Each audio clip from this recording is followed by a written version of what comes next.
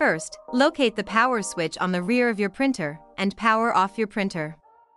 Next, remove the top cover and open the front door to gain access to the inside of your printer. To begin, locate the idler bearings. There are a total of six locations for them inside of your printer, located here, one in each corner, and one on each end of the x-axis. It is recommended to use a light machine oil or white lithium grease to lubricate these parts of your printer.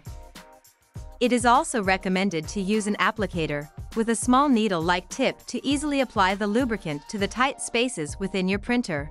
To lubricate the idler bearing, First position the tip of the applicator to either the top or bottom of the bearing and squeeze gently to apply the lubricant. Be careful to not squeeze too much as it is much easier to add more oil than to clean up spills. Repeat for the other side of the idler. Once you have completed oiling one idler, repeat for the other idler. Next, move on to the remaining blocks, using the same steps to evenly apply the lubricant to each idler bearing.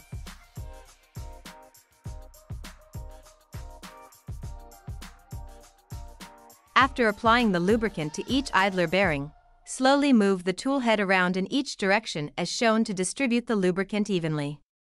Finally, power on your printer and get printing.